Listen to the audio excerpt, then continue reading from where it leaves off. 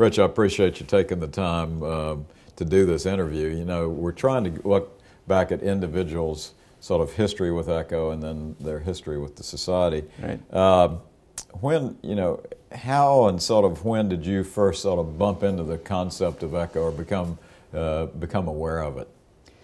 Well, it, it started a little bit uh, earlier than ECHO. That is, I had been at Johns Hopkins and I worked with Mike Criley and Helen Taussig and looked at the congenital hearts that they had. They were doing biplane angiograms. Mm-hmm. And my job was to draw out 3D, 3D drawings of what these hearts looked like. So I spent two or three summers doing that. And then when I got to, I came to Indiana because that was my family home. I did a year of residency, and then I it was a cardiology fellowship, and I wanted to do cardiology, so I joined that. Harvey was the head of the cath lab, and I'd done all my stuff in the cath lab, so I worked with Harvey. And what do you know? He was starting to do echocardiography. And the neat thing for me was that when I had this little ice pick view of the heart, I had already in my head sort of a 3D image of what those hearts were. And it was like magic to me that you could actually decide what you wanted to look at and could see everything. And I was absolutely fascinated. So I was one of the first people that Harvey trained, not the first, but one right. of the first. And uh, that's, you know, that's how I got started. Spend a year with him. And then, then um, you left Harvey, and, and what did you do next? Well, I had the choice of either doing something different at Indiana University or leaving. That's what the chief of cardiology told me. so, uh, and I, I thought Echo was just the greatest thing I'd right. ever seen. So I went to the chief of medicine at Indiana, and he got me the opportunity to go to two or three different places, one of which was Stanford. And they were just doing the heart transplants at Stanford. I thought that would be fascinating. So I went out to Stanford. I had a year before I had to go in the Army, and that's what I did. Did, did um, when, when you first, so you, you really uh, first started looking at this technology, what did you think about as far as what it should be applied to? In other words, what diagnostic challenges sort of came to mind? Well, the first thing that, that came to mind for me was that it was mitral stenosis. Uh, it was a little magical. People would take their stethoscopes and say, "Yes, I hear a rumble," or "I don't hear right. a rumble," or "Is this or that," and uh, and we could tell immediately there either was or was not mitral stenosis, and so that was absolutely fascinating to me, and, and uh, didn't always make me popular because some people who had made the pronouncement that there was mitral stenosis turned out to be wrong. The um, what happened with the technologies in your early days? So you started out with pure M mode, ice pick views of the heart. Where did it go? Well, the first thing, uh, uh probably my main contribution in the early days was that uh, Harvey and I went to a meeting and we saw that there was a, a contrast that could be put into the heart. Uh, Ray Gramiak had mm-hmm. found that you could inject and make contrast. So we actually didn't know how to find the interventricular septum in those days. It was the equipment was so primitive that you didn't always see it. Yeah. And we used the uh, contrast to outline the right heart and uh, find the septum. So I did that, and Harvey and I worked a lot on quantitating the left ventricle. Uh, then uh, you you talk about measurements, measurements M-mode of the left measurements, M- and then M mode measurements, constructing sure. three-dimensional volumes right. out of that. Right. And so then when I went out to, to Stanford, I had an incredible uh, piece of luck in that the SmithKline Instruments people who made that machine mm-hmm. had moved to Palo Alto. Mm-hmm. And so they loaned me an echo machine uh, for a year, and we uh, showed the people at Stanford how to measure pericardial effusion mm-hmm. and ventricular size. We wrote papers on stroke volume and all that sort of thing, and mitral stenosis. Then I was in the Army for a couple of years. By the time I came back, a couple of the companies, uh, partly uh, stimulated by Harvey at Indiana and Walt Henry, mm-hmm. were starting to look at 2D ultrasound. Mm-hmm. And uh, there was a wonderful company in Palo Alto called Varian Instruments, mm-hmm. and they said, well, we can do the scanning electronically instead of me- mechanically, and come work with us and we'll build this thing. And they, and they did that. And uh, we had a couple of pieces of equipment in the, in the lab, but then Randy Martin and Harry Rakowski showed up as fellows, and we had this big thing that looked like a freezer.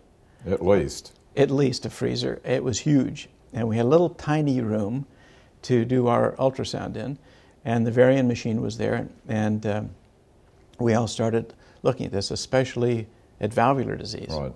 Uh, we brought uh, Mike Criley from uh, Southern California to look at hypertrophic cardiomyopathy. We looked at aortic valve disease, congenital aortic valve disease, mitral disease. I think your, one of your first papers was on quantitating mitral stenosis. Mitral stenosis, yeah, basically doing what Walt Walt Henry had done, That's and, right. and you know it was staggering, and I had, I remember, I remember that well. I mean, it was really magical to be able to look at. I'm sure. I mean, when you first saw the 2D echoes versus your M mode echoes, what did you think?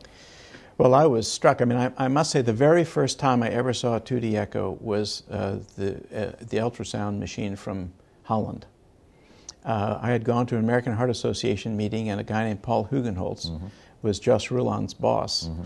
had this film of a linear array machine, and it was on a heart. And he, after one of the sessions, he showed that to me, and I was just blown away. It was it was a mitral, it had normal mitral valve and they had mitral uh, stenotic valve. And I said, this is, I, I have to have this. Let me have it. He said, well, we'd offered it to Harvey and he didn't think he needed it. So you can have it. And so we got to have that. That is our very first machine. That's, a, that's incredible. The, the, um, as you, uh, I'm going to come back to the society in a second, but as you, uh, and I know that in the last few years you've made uh, as you always have, tremendous contributions in other areas of medicine and other things. But as you look at, at ECHO today, okay, or as here we are in the in the uh, in this century, can you? It's it's mind-boggling to me to to look at the evolution of it and and look at it. Uh, what's your feelings about the evolution of it, and what's your feelings about the impact it has in the care of patients? Well, I, I was trained in the cath lab, and and that was my thing. And when I went to Stanford, I had done more transseptal catheterizations than anybody there. And so I was really trained in sure. cath. And my goal was always to replace the catheter, mm-hmm. uh, both the angiography but also pressure. And I was very lucky. Uh, just after you were in the lab, uh, Paul Yock came to, came to me and said, You know, you, you should look at Doppler, that this woman, Liv Hatle, has done these wonderful things. And as a result of the work we did with Liv, and she came over and did a right. sabbatical with us, um, we were able to measure pressure. So, with the ability to measure the images and the pressure, we basically have replaced diagnostic catheterization. Now, the cath lab is mainly an angiographic lab now mm-hmm. to look at coronaries and things. But if you want to do any kind of anatomic and pressure measurements, use echo. That's why it's so spectacular. And essentially, we were able to make real revolution in that, uh, so that now it is the most commonly used uh, imaging technique in cardiology. If you if you think about um, you know the the early days of Echo, and and you were the uh, second president of the American Society of Echo, you know what what were what were your thoughts as as the American Society got going? How did you get active in it, and um, you know Tell me your reflections on that. Okay, well, well the, of course, everyone's surely commented that the genesis of it was that we were being pressured by the radiologists right. that basically saying we should not do it, that it belonged to them. In the meantime, the people, there were a few people doing it really well in radiology. Ray Gramiak was one of them, mm-hmm. working with Pravin Shah. But in general, the, when the radiologists started to do it, because they had equipment for doing other things like the midline of the head and such, they didn't do it well. And uh, Harvey and I and a lot of others saw how well it could be done, and so we were adamant that, that people who knew the physiology and knew the anatomy are the ones who should do it.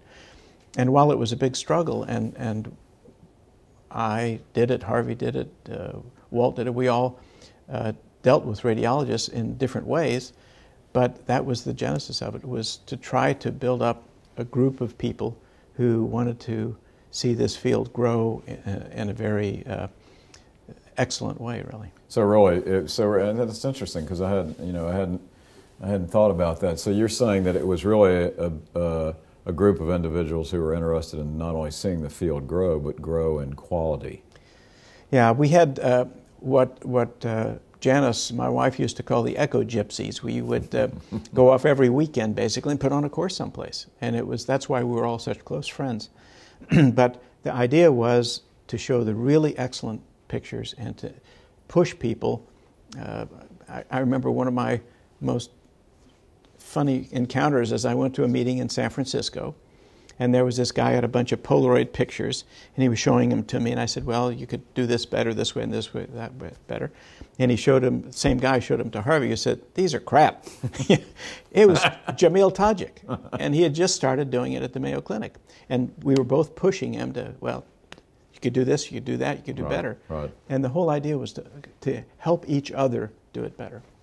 The the um, I'll ask you to reflect on two things. One, as you look back again at the developments from where you were in the very early days to where we are now with three-dimensional real-time transesophageal echo and strain and all these sort of things, sort of, what's your reflection on that? I mean, you know, is that you know, it's always is that something you could have envisioned? I mean, is it? Um, Well, it, I mean, I could not envision a lot of the technological advances. Those were because we were very closely allied with and stimulating excellent engineers to build mm-hmm. better mm-hmm. equipment. Mm-hmm.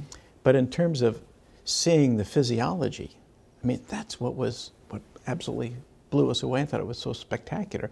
Even on the M mode, you could see it, you know, a thousand times a second you were taking a sample, and you could see every little jiggle and wiggle that the heart was making, and you could interpret that and understand what was going on. So the fact that it's come so far and that you can see all kinds of wonderful physiology and pathophysiology, eh, eh, that's not surprising. I didn't envision it all. Right. But we knew it was in there, we just didn't know how to get it out. And it's through the partnership with a lot of the, the companies and the engineers in the companies that kept building better equipment.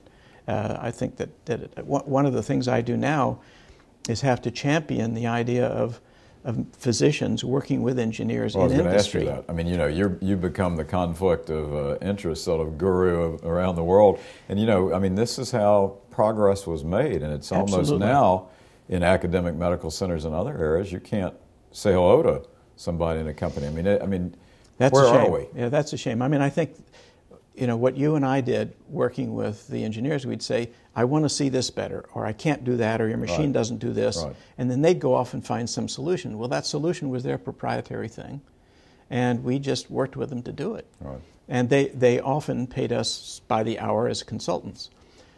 Now it's considered if you, if you do that, it's like there's something wrong.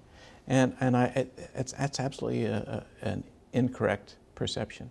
So, I mean, I think we're still, still fighting that a little bit. The world has changed, but the, uh, there, there are so many people now who can advise the companies, and there's so many who actually, physicians who've gone to work with them, that, uh, that that's not such a problem anymore. But the, but but I think you hit on a key thing, and, and you're you're really one of the first to talk. I mean, others have talked about, but you directly addressed it. That it was really this sort of intertwining of, of the clinician, physician, researcher with the the engineering staff. I mean, Walter talked about that. That really Yeah. led to the advancements. Well, you know, uh, Walter was lucky because he really was an engineer in addition to being a physician. right. But um, there was a fellow named Tom Davis who Mm-hmm. was the head of SmithKline Instruments, one of the very first people who did this. He was a physician. He'd gone into it because in GI he thought he could do some things with ultrasound, and he was really the linchpin for Harvey and myself and lots of others to take the word to his company. When these guys say you need to change it, change it and fix it. And, and uh, it's that kind of uh, interaction and continuous, you know, continually working with the ultrasound uh, people, the, the engineers, it was good. I, I got to work with HP very closely. I worked with Varian very closely, ATL, virtually all the companies. And uh, the reason you didn't have to worry about being honest was because if you to- told this guy something, next week he was working for the other company. So th- you had to be honest with everybody anyway. And we would uh, uh, be very much in the up and up with all the companies. But it was in everybody's interest for the equipment to get better and for us to make better diagnoses. The American Society of Echo has grown immensely uh, over our lifetime. It's, it's tremendous. As you look back on, you know, the, and I think the thing that struck us, and we were, again, all of us had a chance to visit and talk about this just recently, as you look back on the impact that not only the technology has in the society, but the relationships have had. What, what's that mean to you? Well, it means an enormous amount. I, I mean, one of the, my uh, longest and best relationship was has been with uh, uh, Kitty Kislow. Kitty uh, was originally Kitty Philly. She Mhm. was my sonographer. Uh, we were such good friends that when she and Joe Kislow got married, I got to walk her down the aisle at the Stanford Church. Uh, we, you know, we've just been terrific friends. Uh, these echo gypsies who were all together are some of my closest friends. And the interesting thing is, even though we are, as Walter says, we're off in different zip codes, we still maintain very close relationships. And one of the reasons I come back to the ASE, even though I don't do echo anymore, I'm retired, is I want to see you guys. Right. And so uh, it, it's a strong motivator. So it's a unique. I mean, the the field is unique, and the society is unique. I think, in the sense that it's um, individuals that had a passion for the technology and what it could do, and then I think developed a passion for each other. I think you're absolutely right, and, and it, it continues. I mean, I, I can tell from the people that I see at this meeting, and I was meeting at breakfast this morning, and whatever it is, though the, the passion continues, the, the friendships continue, and it is a unique organization in that respect. Well, we, we you know I've said this numerous times, but I'm grateful for what you've personally done and meant to me, and I'm also grateful for what you've meant to the field and the society. Thanks for joining us. Thanks for the interview.